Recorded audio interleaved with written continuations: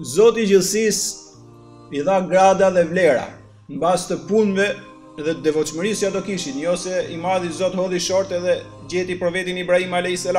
Duhet ta kuptojmë, përkushtimi i tij, devoçmëria e tij, mençuria e tij, energjia e tij pozitive, dhe veprat e mira e bon që të ishte i dalluar ke i madhi Zot i qofshim atij falë.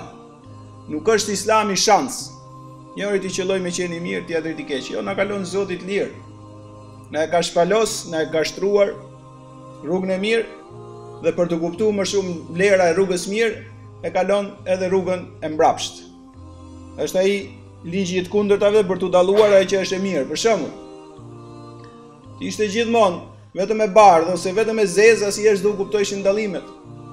Vlera e madhe e të bardhës kuptohet kur ti e njeh dhe ngjyrën e zezë.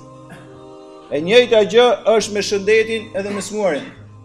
Qoftë se njeriu do të kishte gjatë gjithë kohës vetëm shëndet, s'do ja kuptonte vlerën ashtu siç duhet. Vjen smundja dhe thua, "O Zot, më jep shëndet se s'dua gjë tjetër." Qoftë se do të ishte gjithmonë ditë ose gjithmonë natë, s'do u kuptonin vlera e ditës dhe vlera e natës. Të ishte gjithmonë ditë, s'do e vlerësonim kaq shumë sa e vlerësojmë tani.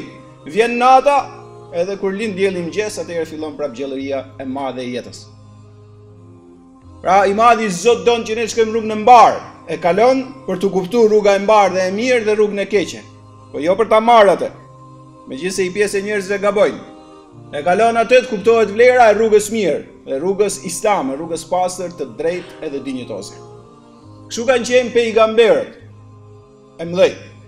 Dhe në veçanti pejgamberi Ibrahim alejhi selam.